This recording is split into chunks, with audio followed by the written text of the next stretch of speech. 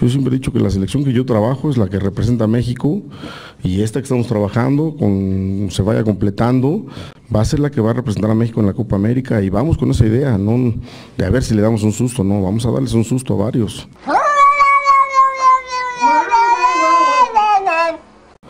Porque este equipo estaba diseñado para llegar a la final. Vamos a dar mucho más, mucho más de qué hablar. Sabemos que hay equipos como Brasil, como Argentina, el mismo Chile, que es el local, Colombia, que ha hecho un gran torneo, un gran mundial, eh, que puedan estar por encima, Uruguay, la historia de Uruguay, pero nosotros vamos con la idea de fijarnos eh, la meta que tenemos trazada y lograrla.